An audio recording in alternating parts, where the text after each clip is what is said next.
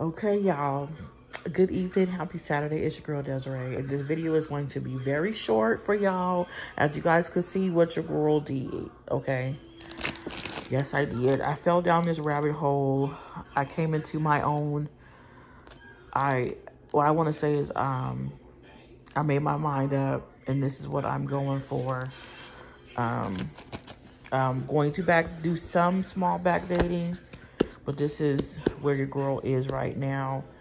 Um it is my A5. It's well actually of course it's an A5.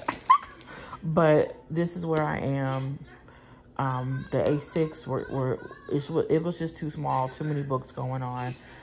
Um, daily planning, I mean everything. There's a whole lot of stuff I'm going through and having here, and I will be updating y'all.